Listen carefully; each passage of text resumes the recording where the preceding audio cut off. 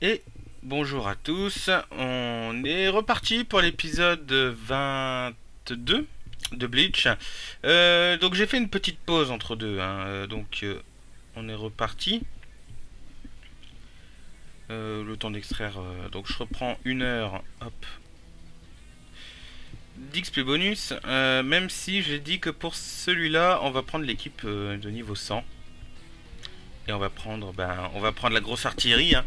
j'ai envie de dire on, va y aller à fond parce que je, sens que la difficulté augmente réellement. Ça, m'inquiète un peu pour la suite de la série je vous avouerai. Euh, donc euh, bon il reste euh, de toute façon il reste trois chapitres dont un qui n'est pas encore développé au moment où je tourne.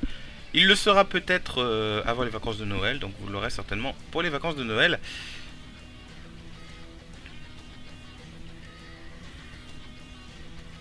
Sachant que oui, je, ne diffuserai pas d'épisodes euh, les 24, 25, 31 et 1er janvier.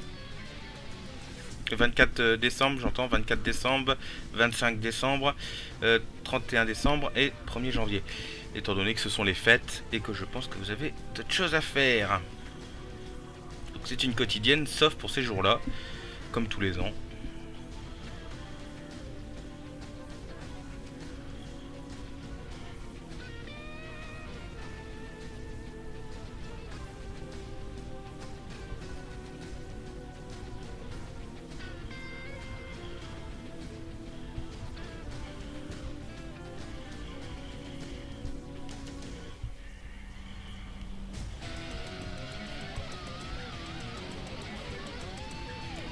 Dès, que je vois que Ichigo est, vraiment trop en difficulté, je switch euh, sur Stark.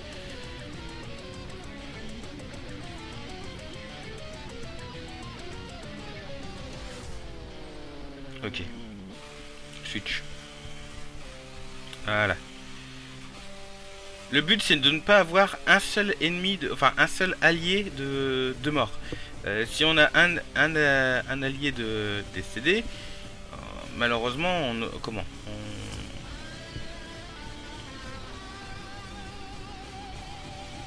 ah, C'est pas vrai, hein.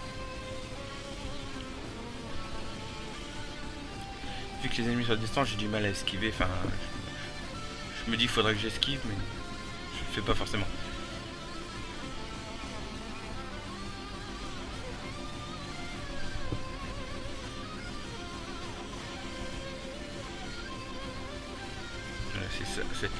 Et il y a un pouvoir qui se sert jamais parce qu'il reste à distance. C'est le problème avec Stark, c'est que parfois il faut faire un dash sur l'adversaire pour pouvoir utiliser le... Hop, ce sort là, qui, utilise quasiment jamais euh, en automatique. Étant donné que c'est un sort qui s'utilise quand... quand il est proche en fait. Voilà, et donc on tombe sur Aizen. voilà. Donc Love et Lisa sont au sol. Euh, voilà, Kaname euh, trahit Shinji. Parce que Kaname est, ami avec Aizen, hein. enfin, il est l'allié d'Aizen. Voilà, bon, Aizen explique explique euh, vaguement voilà son, plan. Donc là, s'ensuit. Voilà. Là, vous, l'avez vu repasser. J'étais un peu vite dessus, mais il y, a, il la fameuse phrase qui a ressorti. Euh, je, connaissais ton plan depuis que tu étais dans le ventre de ta mère. Enfin voilà. Ça, c'est leur. C'est leur. Euh, c'est la vanne qui se balance. Enfin voilà.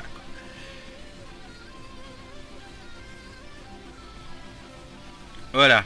Et là, euh, malheureusement, donc euh, Shinji est contaminé, donc il commence à se euh, holofier.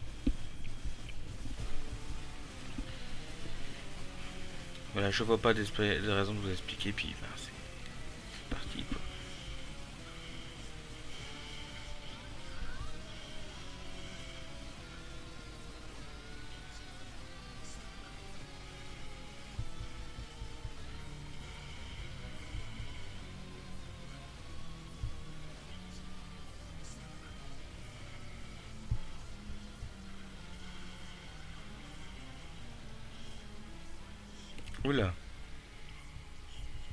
D'accord, c'est le cercueil noir. Bon. Bon, mon troisième ulti. la vache. Et il lui faut trois ultis dans la gueule quand même. Hein.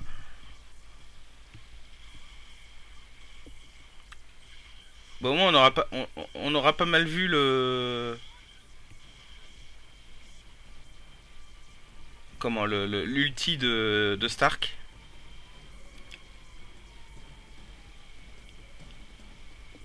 Voilà, donc là on a euh, donc il y a Shinji qui est en train de se, de se transformer.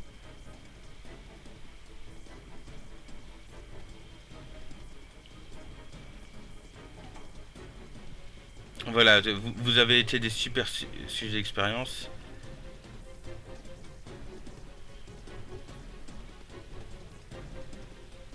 Voilà, donc euh, Kisuki qui demande, lieutenant Aizen, qu'est-ce qu'est-ce qui se passe?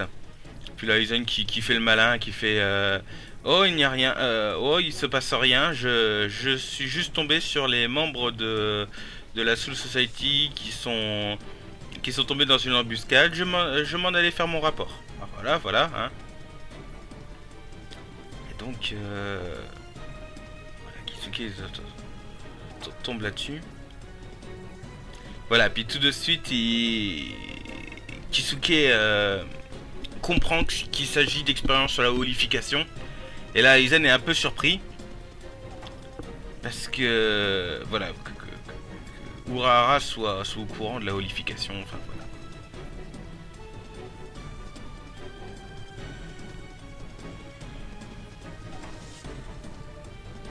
Voilà, alors, temporairement, euh, Tensei va les...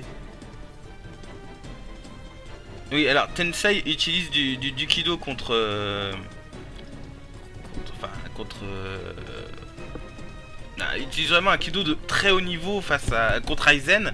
Et Aizen, par l'attaque en, par un autre Kido, mais, mais, mais il est pas censé avoir ce niveau, quoi, en tant que, en tant que lieutenant.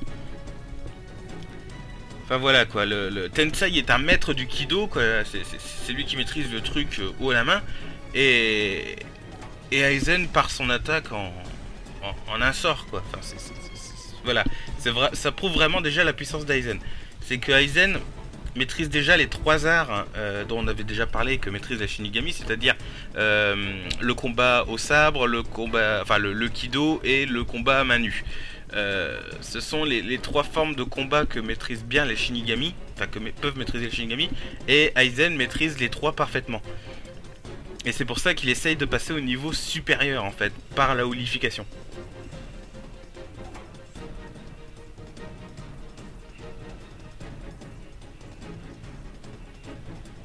Ok, euh, juste avant, on va retourner au homme rapidement.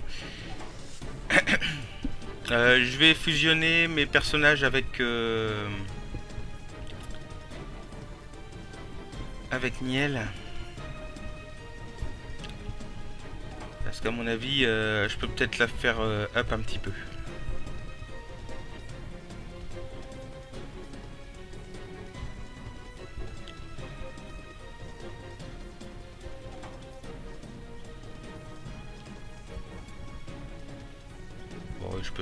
Je peux certainement. Je, euh, pour le moment, je mets que les niveaux 2. Ouais, donc je peux. Ouais, hop. Ah, bah, je peux pas plus. Ok, donc elle peut monter jusqu'au niveau 75, donc je vais peut-être la remettre dans l'équipe. L'équipe d'entraînement, j'entends. Euh, hop, je rajoute les quelques-uns qui manquent. Celui-là.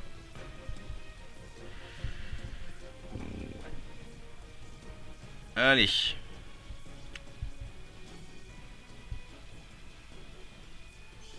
Euh, si je fusionne. Alors, attendez. 22 000 et si je fusionne. Ouais, donc ok, donc que ce soit niveau 1 ou niveau 50, de toute façon, c'est le même. Euh, c'est le même XP gagné pour, euh, pour pouvoir passer de niveau. Bah écoutez, Niel, pour, augmenter, de 5 niveaux, ça ferait du bien d'avoir quand même un niveau assez élevé dans, dans l'équipe d'entraînement en plus. Je vais la remettre à la place de, à la place de, de Matsumoto. Et voilà, dans l'ordre de niveau. Comme ça, elle peut augmenter encore de 5 niveaux euh, en entraînement. Il y a autre chose. attendez, il y a autre chose que je voudrais faire. Vu que j'ai gagné quelques quelques gemmes vertes. Ah non, il peut monter jusqu'au niveau 90. Euh... Renji. Hop. Est-ce qu'il peut... Ouais, il peut encore gagner un niveau. Enfin, il peut gagner deux niveaux supplémentaires. Il peut en gagner plus, non.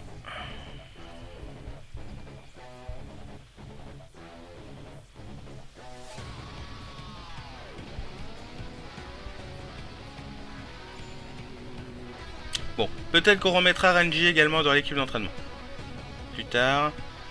Euh, pour le moment, lui, je l'augmente vraiment avec des gemmes d'XP. Je me dis, euh, c'est pas, pas plus mal de faire comme ça.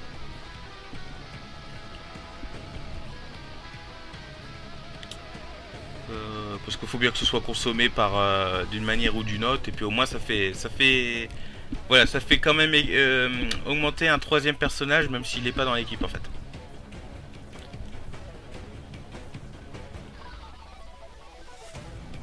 Donc c'est tout bénef. Ok, donc là on a... Euh... Ah, alors là on va voir le dénouement de l'histoire. Ouais, on est sur la fin. Alors là, c'est vraiment là l'explication, c'est vraiment l'explication finale de Zipast. Donc on va, on va finir Zipast aujourd'hui. Alors ça, ça c'est une bonne nouvelle. Et on va après attaquer le, chapitre euh, La bataille pour Kurakura. Euh, voilà, donc c'est ce que j'explique, la unification, c'est une des une des choses que je voulais découvrir pendant mes pendant mes recherches sur l'esprit des Shinigami, enfin voilà. Voilà.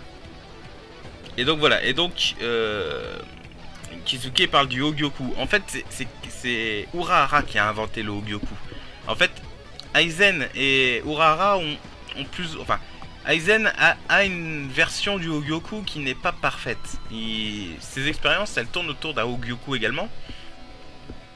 Mais Urahara en a créé également un qui est beaucoup plus performant que celui d'Aizen. Et donc euh, Aizen dérobera euh, plus tard le Hogyoku de, de, Urahara pour, pour fusionner les deux Hogyoku et pouvoir euh, créer le Hogyoku qu'on connaîtra dans, le présent un peu plus tard. Qui, qui, a déjà été extrait en fait du corps de Rukia. En fait, euh, il a euh, Aizen avait caché temporairement le, le, dans, dans le corps de Rukia euh, pour voilà quoi pour, faire distraction. Voilà, et c'est grâce au Gyoku donc que Urahara va pouvoir aider les premiers visards à enfin les premiers donc Shinigami qui sont en train de devenir des visards à devenir des visards à part entière quoi, pouvoir les sauver quoi. Voilà. Donc c'est en cours.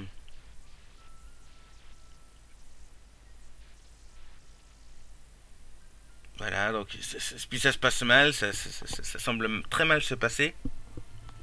Euh, L'éparpille. Voilà. Euh, puis Urahara se fait arrêter. Il est mené devant la chambre euh, du Central 46. Donc, euh, souvenez-vous, hein, le Central 46, c'est le tribunal de la Soul Society. On en a déjà parlé dans les premières saisons. Euh, donc là, Urahara est, euh, est comment dire est accusé de faire des expériences illégales. Alors qu'en fait, c'est Aizen, hein, qui fait des expériences illégales. Euh, Urahara essaie juste de, réparer la casse, quoi. Il essaie juste de sauver les, quatre capitaines et les, trois vice-capitaines qui, qui, sont dans la merde, quoi.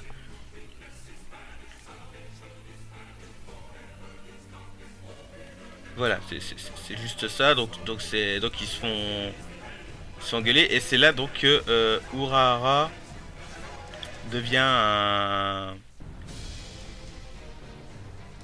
comment devient euh, devient un paria en fait devient devient sauf que quelqu'un vient à la rescousse d'Urahara pour l'aider à s'échapper. C'est Yoruichi voilà, on l'aura bien reconnu avec ses cheveux violets et ses yeux euh, jaune, évidemment, c'est c'est Yoruichi qui, vient sauver Urahara, qui vient, chercher Urahara dans le Central 46 pour l'aider à s'échapper de, cette situation. Euh, elle a également eu le temps de, prendre les, malheureux blessés, qui deviendront plus tard les bizarres, et euh, finalement ils arrivent, ils arrivent à les sauver, et voilà. Et là on se retourne, on revient résultat dans le présent. Voilà, euh, Kisuke euh, a tout fait pour qu'on arrive à ce point, à ce moment précis. On lui doit beaucoup. Euh, et à Aizen également, parce que c'est grâce à Aizen qu'ils sont devenus des bizarres. Mais ils sont partis pour se venger d'Aizen, hein, bien sûr. Et eh ben on a fini The Past on a fini euh, le chapitre qui vraiment le, chapitre charnier qui, fait vraiment la liaison entre euh, entre le passé des Vizards, le contentieux avec Aizen, euh, le passé d'Aizen, le passé du méchant de l'histoire. Voilà, on a, absolument tout. On a toutes les explications. pourquoi Urahara parvient à obtenir des articles de la Soul Society tout en étant en dehors de la Soul Society, un paria, c'est parce qu'en fait c'est Mayuri qui lui envoie tout ce matériel. parce que c'est pas dit explicitement, mais en fait implicitement, euh, Iori ou Urara, même s'ils ont une rivalité, euh, euh, comment dire, plutôt bon enfant, on va dire, ouais, voilà, plutôt bon enfant. En réalité, bon, ils ont, ils font du business ensemble, euh, ça c'est pas dit, ça c'est pas dit, mais, mais, on le comprend très bien dans la série. Euh, voilà, la holification, d'où ça vient, un peu plus d'explications également sur ce qu'est le Hogyoku, ce fameux artefact qu'utilise Aizen pour holofier les... Alors soit pour holofier les, les Shinigami, soit pour euh, Shinigamiser les holos, on peut dire ça comme ça. Enfin voilà. Voilà, on a vraiment l'explication quoi le, de tout, c'est qui et surtout qui étaient les anciens visards. Qui, quatre d'entre eux étaient capitaines et euh, trois d'entre eux étaient vice-capitaines. Voilà. The Battle for Kura, euh. Euh, on va s'y attaquer, mais pas tout de suite, tout de suite là. On va faire un petit peu autre Je vais faire le tour. déjà de récupérer les orbes qui traînent.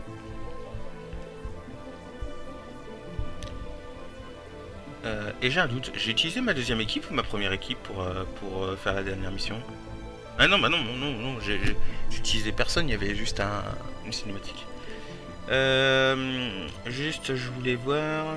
Ouais, non, en fait, il n'y a, rien. Non, non, bah non, on va directement s'attaquer à la bataille pour Kurakura. Pour... ah, j'arrive pas. Kamamura, voilà.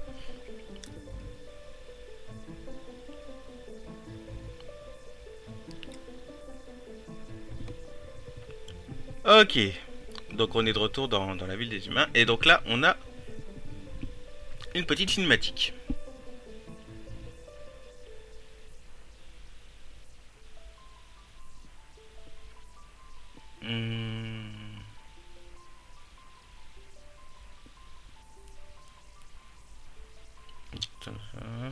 Ah oui, alors voilà, c'est hmm, le Tenkai Tetsu euh, c'est une technique qui consiste en fait à mettre quatre piliers autour d'une société. Alors si vous voulez, je vous rappelle, on va, je vous rappeler un peu le plan d'Aizen. Donc, le plan d'Aizen, c'était déjà d'utiliser le Hogyoku pour pouvoir euh, créer une armée surpuissante et lui-même devenir un peu plus surpuissant. Voilà, donc ça c'est euh, la première chose. C'est pour le Hogyoku, c'est tout ça. Avec cette armée-là, en fait, Aizen essaye de récupérer Loken. Loken, rappelez-vous, c'est la clé qui permet d'accéder au palais royal de la Soul Society. Pour, le moment, il existe déjà une clé, mais qui est cachée par le commandant Yamamoto, qui, ne révèle pas où elle est. Il sait où est, mais il ne le révélera jamais. Donc pour le moment, il n'y a que Yamamoto qui a euh, une de ces clés. Donc Aizen va plutôt essayer de créer une autre clé, une seconde clé qui existe très bien, qui, qui, marchera très bien. Pour cela, il doit sacrifier euh, une ville, euh, enfin, il doit réunir des... Enfin, il doit... Oui, il doit... Il doit, utiliser, enfin, il doit forger cette clé avec des âmes humaines euh, fortement chargées en pression spirituelle. Et la seule ville sur Terre qui correspond à ce critère, c'est Kamamura donc la, fameuse ville, euh, la fameuse ville où est Ichigo, euh, où se sont, où Ichigo et Rukia se sont rencontrés, tout ça, où tout ce qui s'est passé en monde humain, c'était à Kamamura. Voilà. Donc, pour parer à ce plan de Kreloken, euh, Aizen a, euh, non, Urahara a mis en place une technique, le Tenkai Tetsu, Tetsu, pardon, qui est le donc qui est une technique en fait qui consiste à créer une copie de Kamamura dans la Soul Society. Et en fait, avec quatre piliers qui sont répartis, euh, voilà, qui forment un carré en fait autour de Kamamura. En fait, il va euh, échanger la position des deux villes. C'est-à-dire que la réelle Kamamura et tous ses habitants vont se retrouver endormis dans la Soul Society, pendant que la copie de la ville se retrouve euh, dans le monde des humains normal. Ainsi, ça fait illusion. Et en fait, il n'y a aucun humain actuellement en vie à Kamamura. Il n'y a aucun humain tout simplement à Kumamura au moment où, les batailles vont commencer à Kamamura. Bon, Aizen, bien sûr, va découvrir le subterfuge très vite. Mais il va se dire, j'ai une armée. La plupart des capitaines sont là en face de moi. Autant les buter tout de suite. Voilà ça va être comme ça que ça va se passer. Donc c'est tout à fait logique, hein. C'est tout se Voilà, il dit c'est une technique, euh, c'est un Saikaimon géant. Le Saikaimon, je vous rappelle, c'est le, passage qu'utilisent les Shinigami pour aller du monde des humains à la Soul Society et inversement. Voilà, bon, il y a deux trois termes techniques comme ça en plus qui sont en, jargon japonais, donc. Euh, donc c'est assez difficile de retenir les, noms, mais bon, Ogyoku, Loken, euh, je viens de le dire, euh, Saikaimon, voilà, c'est deux trois mots assez compliqués à retenir, mais sinon, euh, voilà.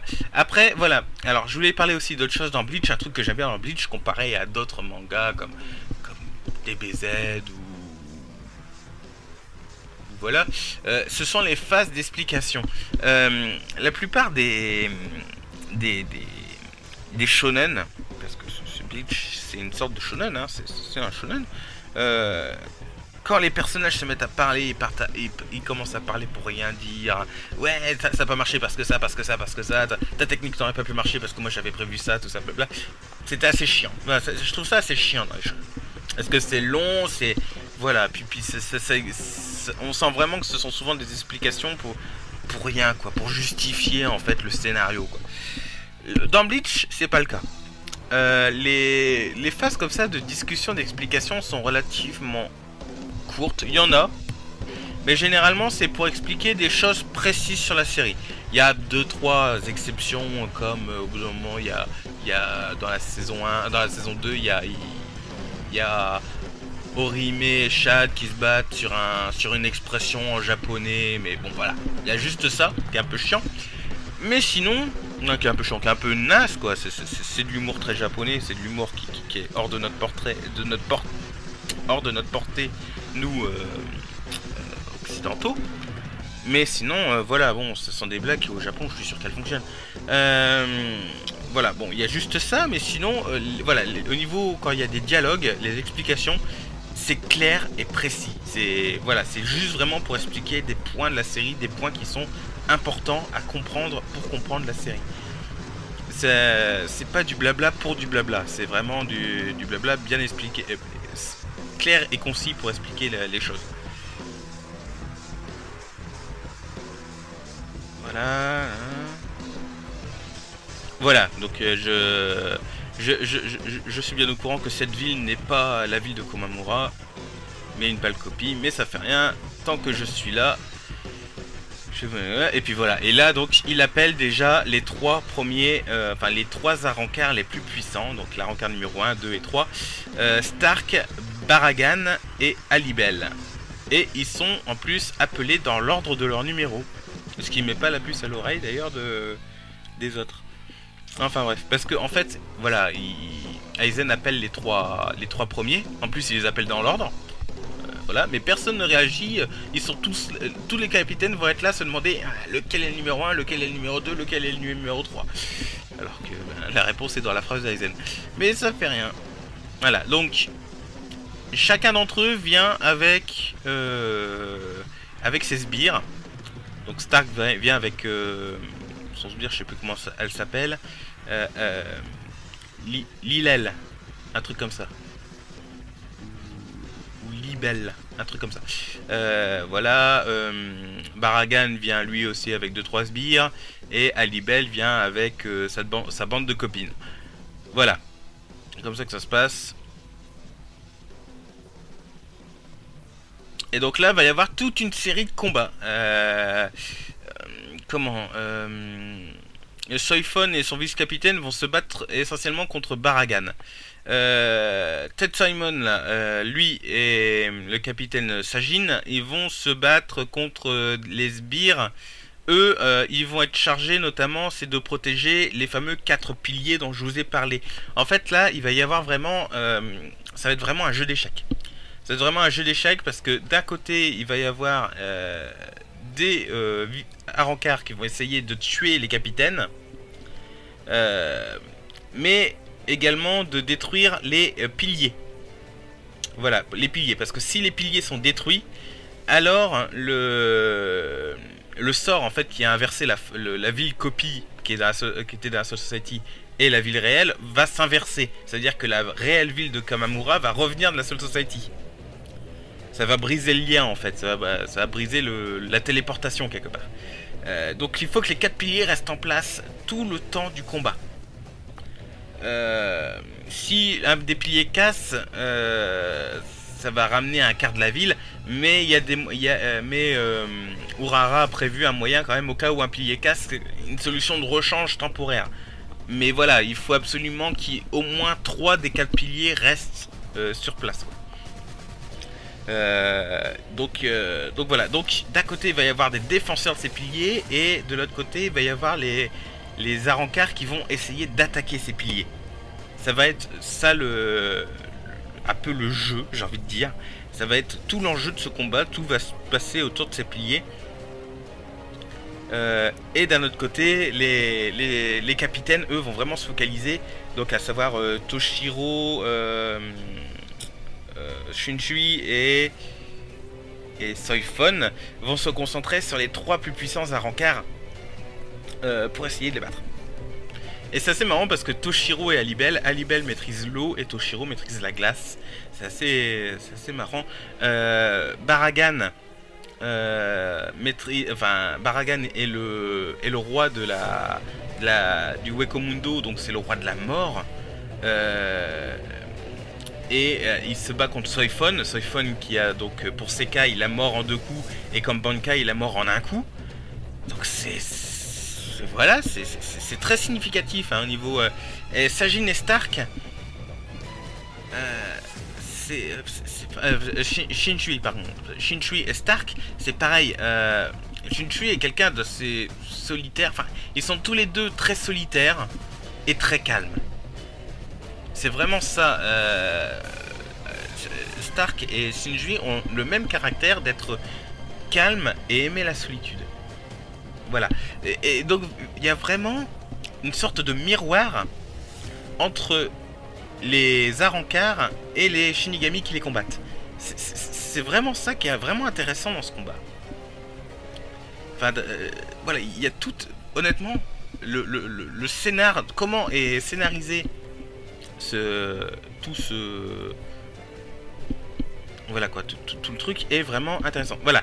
Et on a le euh, commandant en chef qui, temporairement, le temps que tout le monde s'occupe des quart, il va enfermer Aizen, euh, Gin et euh, Kaname dans cette barrière de feu le temps que, les autres essayent de gérer euh, la situation avec les Arancars, de pas en plus avoir les trois capitaines euh, ennemis sur le dos.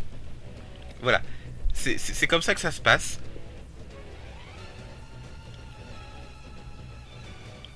Ouh, il fait un peu chaud ici. enfin voilà, ouais, Guide qui fait un petit peu, un petit peu trait d'humour comme d'habitude. Et puis Aizen qui fait ne t'inquiète pas, euh, ce, combat se passera bien nous. Enfin voilà, donc Aizen qui reste très calme, il est enfermé mais il sait que pour le moment tout va bien se passer. Enfin, il sait, il voilà, il suppose que euh, euh, il va sortir vainqueur de ce combat, hein, mais mais c'est pas forcément le cas. Il va, certains combats vont être gagnants, des Shinigami vont être très gravement blessés. Mais bon, à la fin, voilà, c'est toujours les, gentils qui gagnent. Enfin bref. Euh, alors là, je n'ai aucune idée du niveau que requiert... Mais on va repartir sur des petits niveaux. tiens, allez, Toshiro. Euh, non, la, vice-capitaine de Toshiro, euh, Matsumoto.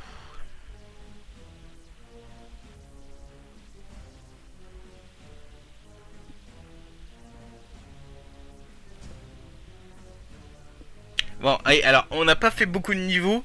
Honnêtement, on vient, juste de finir. On, est déjà une demi-heure et, je vous ai juste expliqué le scénario de Bleach, quoi. Ouais, je vous avouerai, là, on est... On n'est pas on avance pas bien. Mais j'ai envie de faire un petit peu durer. Hein. Honnêtement, j'ai envie de faire un petit peu durer. On va faire une trentaine d'épisodes hein, sur, euh, sur Bleach.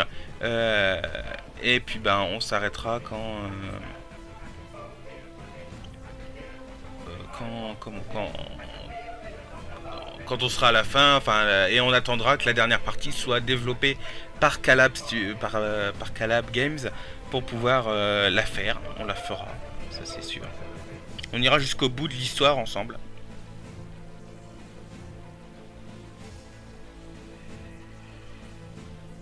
Bon, alors là, pareil, c'est bizarre. Enfin, c'est chiant. Pour les niveaux, ils auraient pu nous mettre les, les, veux dire, des versions faibles des arancars présents sur le terrain. Dans l'histoire, je veux dire. On aurait très bien pu se battre contre... pas contre une version d'Alibel, mais une version voilà, des autres arancars, des sbires, des, des, des arancars principales qui sont là. Euh, je sais pas, croiser euh, Wonder Wife, euh, enfin Wonder Waste, pardon. voilà, ce, genre de, de holo. Honnêtement, j'aurais préféré rencontrer plutôt que voilà, là on recroise toujours les mêmes holos, juste avec des, des niveaux différents, des un peu plus de vie, un peu plus de force quoi. Donc c'est le problème, c'est le problème de jeu honnêtement, il est trop répétitif.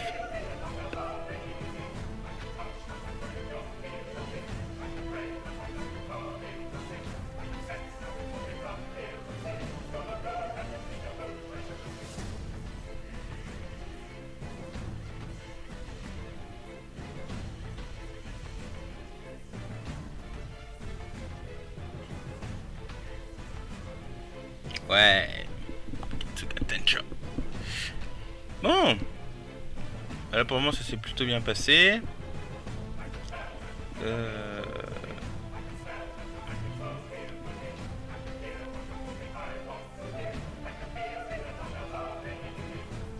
Ok.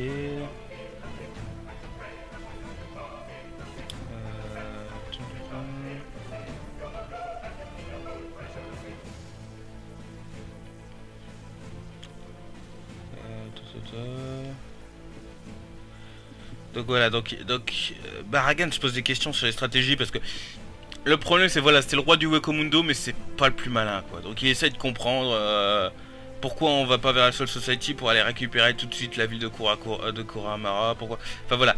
Pourquoi on fait pas demi-tour pour aller directement choper Kurakura Enfin voilà. Voilà, puis, puis il se dit ouais mais finalement si on détruit ces piliers c'est vrai que ça peut marcher, enfin voilà.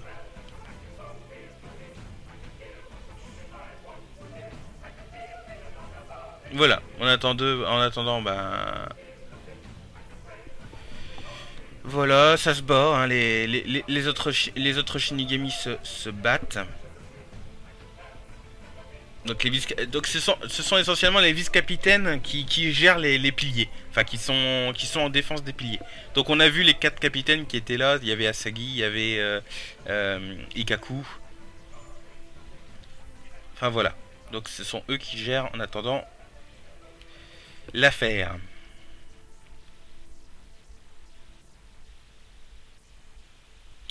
Voilà, voilà, voilà.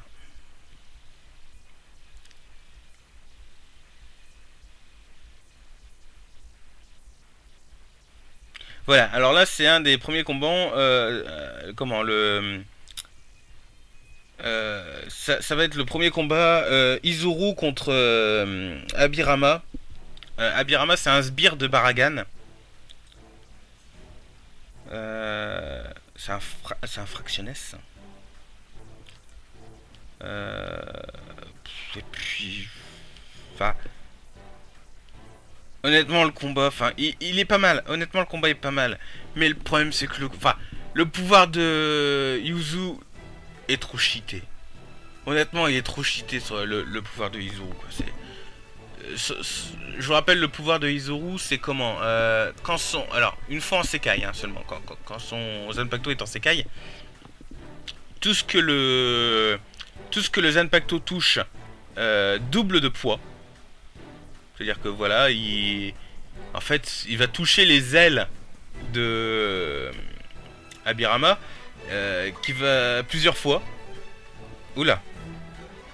Excusez-moi. Euh, on est à 30... Attendez, je vais noter. 37 minutes. Il y a eu... Bon, c'est rien, c'était juste un, un message.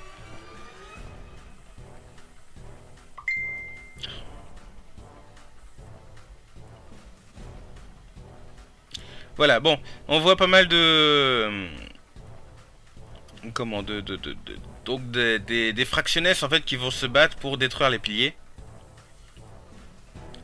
Je vais voir sur, euh, sur Facebook. Euh. Alors ça c'est vraiment un inconvénient.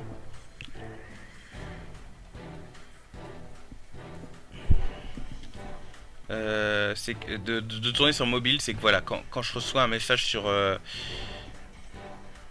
sur, euh, sur Messenger.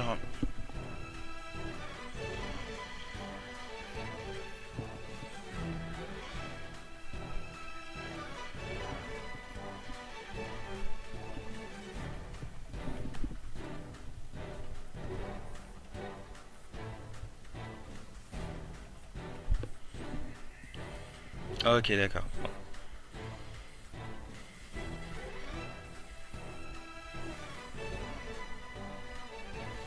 Oh mais merde Ok, j'ai battu 300 ennemis aujourd'hui. Ça va, tout va bien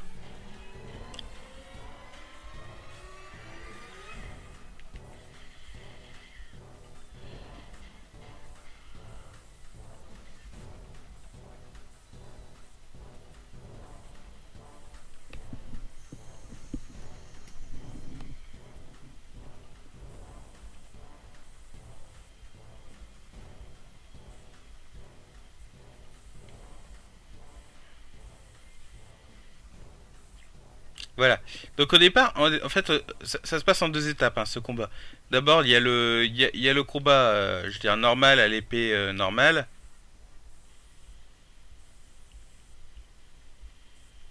Ouais, puis, ça se balance des pics, enfin.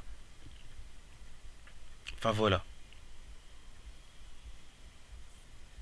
Donc finalement, Izuru sort son Sekai et voilà Abirama sort, euh, enfin libère également son Zanpacto.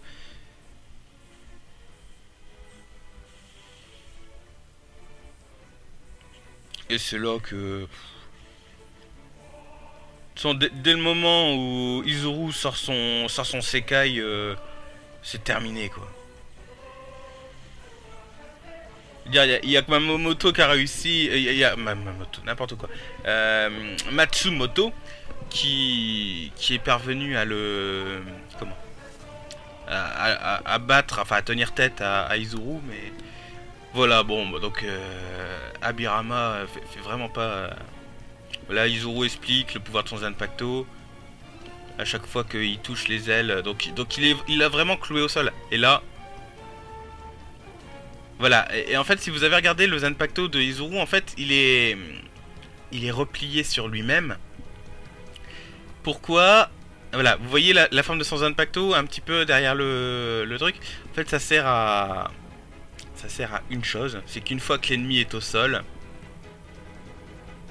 voilà, ça sert à ça, ça sert de guillotine inversée.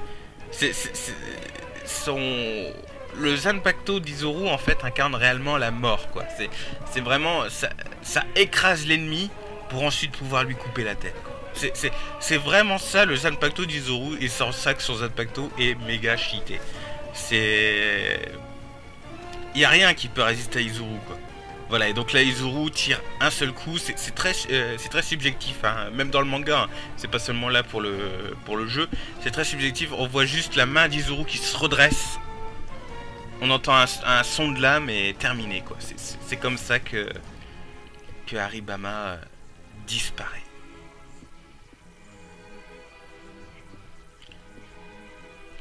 Mais non, mais c'est génial. Honnêtement, c'est génial. Izuru, ça pourrait très bien être un vice-capitaine qui... Je suis sûr qu'il y a des fanarts de lui, hein. Tellement il est cheaté.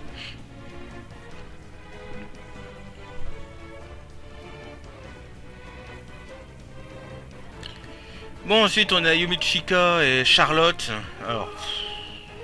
Ouah, j'ai pas... Euh, franchement, ce combat-là, je le trouve ridicule. Parce qu'en fait, les mecs essaient de faire un concours de beauté, quoi. Euh, Charlotte, c'est un, arancard euh, qui a des goûts vestimentaires vraiment douteux. Et Yumichika, euh, voilà, c'est pareil, c'est le mec qui se prend pour le beau gosse, donc... Voilà, quoi, donc c'est vraiment un combat de... Comment dire? Voilà, pense que tout le monde a compris ce que je pense de, de ce combat. On va, on va le faire très très rapidement.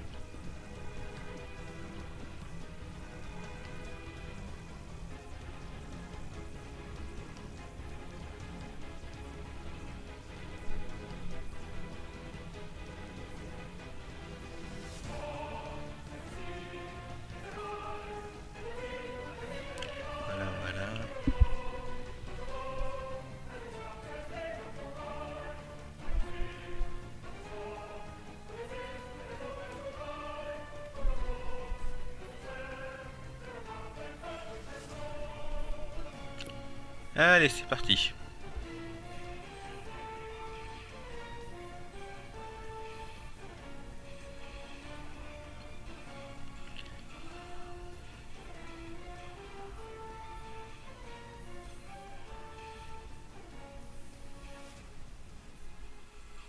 Non, lui d'abord. Oh, c'est pas vrai Bon, faudra vraiment que...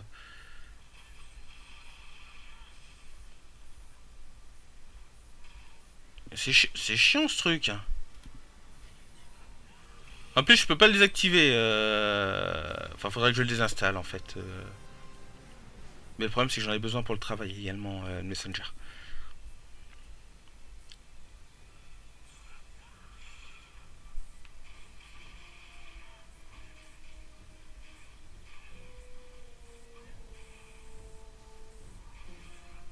Ouais, c'est bon, ils m'ont pas gelé. J'ai cru qu'ils allaient me geler. Bon, bah, de toute façon, si je dois faire du montage sur cet épisode, je vais devoir euh, m'arrêter plus tôt. Hein, parce que...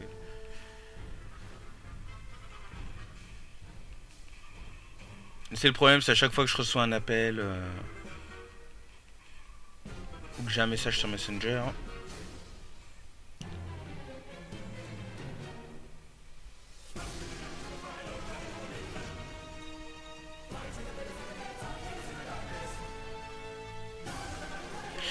Voilà, bon.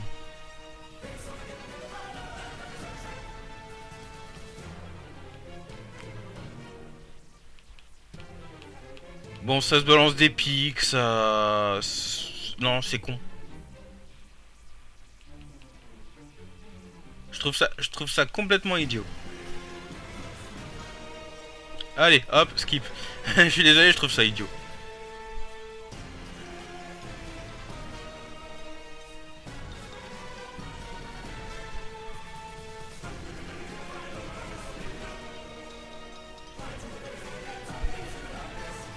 Que j'en ai un troisième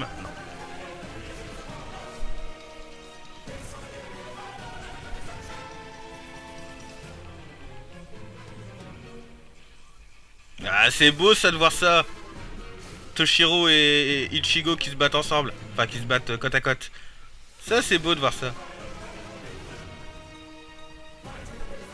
Oh tiens, d'ailleurs, ce soir, peut-être que je vais me retaper. Moi, c'est Diamond Dust Rebellion. C'est le, c'est un des films de Bleach où justement, euh, euh, où le, personnage principal c'est Toshiro et, enfin, les personnages principaux sont Toshiro et Ichigo. Et ils se, en fait, l'histoire se base sur le passé de Toshiro. Et clairement, euh, oh, Diamond Dust Rebellion, allez, après Elverse, c'est mon préféré. Bon allez, hop. Ah merde euh, on va, on va switcher hein.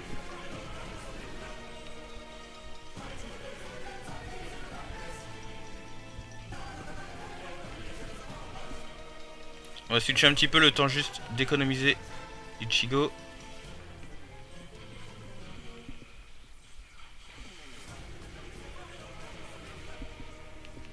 Ok. Genre switcher.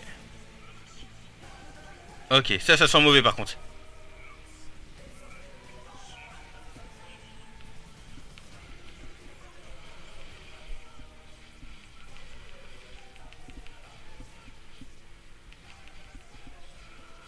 Ah, je m'attendais pas à sa libération, je dois l'avouer. Ça va pas le faire.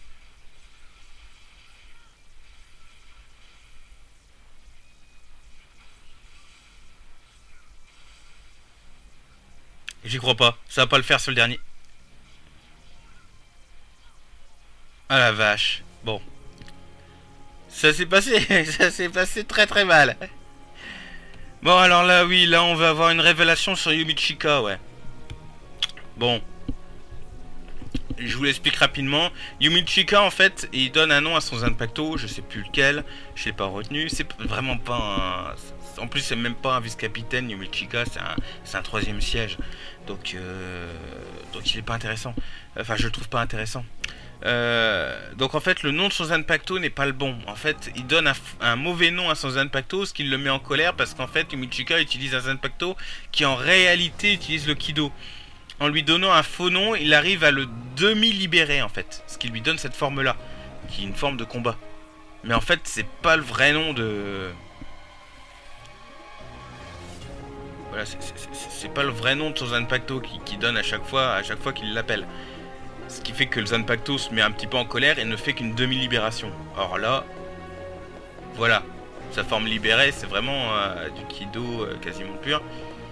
Et là, en fait, Yumichika utilise ce pouvoir-là parce que euh, il est seul avec son adversaire. Là, en fait, le pouvoir de Charlotte les a enfermés dans dans un endroit qui est complètement euh, invisible, enfin, où les autres en fait ne peuvent rien voir. Donc c'est pour ça que euh, Yumichika se, se permet d'utiliser ce, pouvoir. Bon voilà, allez hop. Allez, on a réussi à quoi? 3 minutes? Ouais, on a réussi eh ben, à 5 secondes près hein, quand même pour les 3 minutes.